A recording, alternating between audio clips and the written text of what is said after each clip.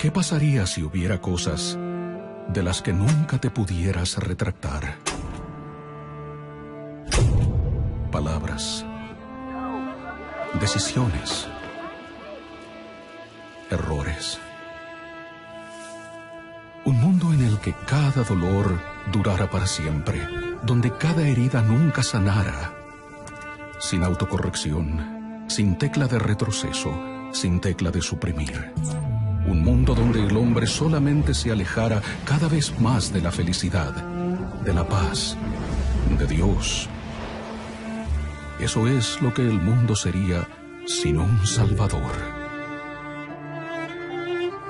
Felizmente, ese mundo no existe, puesto que en una apacible noche, hace mucho tiempo, en un pequeño poblado, nació un niño nacido para cambiar todos los corazones, poner fin a todas las separaciones, corregir todos los errores.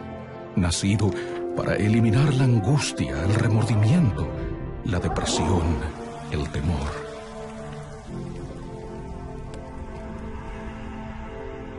Él te comprende a ti. Él nos sana a nosotros. Él puede salvar la brecha solitaria entre Dios y el hombre y llevarnos de vuelta a casa, si se lo permitimos, si lo amamos, si lo seguimos. Es por eso que celebramos, es por eso que cantamos, y es por eso que Él nació.